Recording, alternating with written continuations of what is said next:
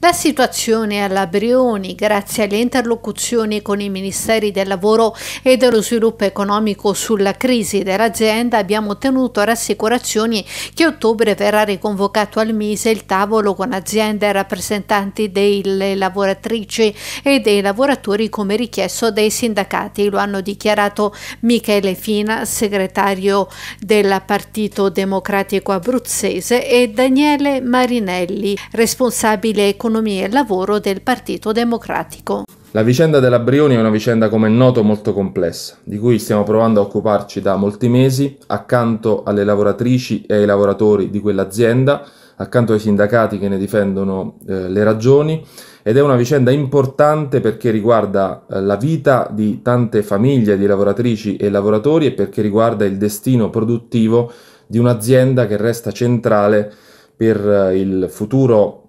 industriale produttivo dell'Abruzzo e in particolare dell'area, dell'area vestina. Eh, come è noto è una vicenda che ha conosciuto la, la, presentazione di un piano industriale da parte dell'azienda già ad aprile del 2021 ed ora c'è una novità sostanzialmente importante, prosegue Marinelli. Che a fronte di una uh, richiesta esplicita e urgente da parte dei sindacati di riconvocare quel tavolo al Ministero dello Sviluppo Economico, noi abbiamo ottenuto, grazie alle interlocuzioni col Ministero del Lavoro e con il Mise, eh, che questo tavolo venga riconvocato ad ottobre. E le, le ragioni sono sostanzialmente due per la verifica di quell'accordo. Intanto ci sono 70 circa tra lavoratrici e lavoratori che non hanno accettato il, la proposta di esodo volontario e quindi bisogna scongiurare il rischio di un licenziamento forzato.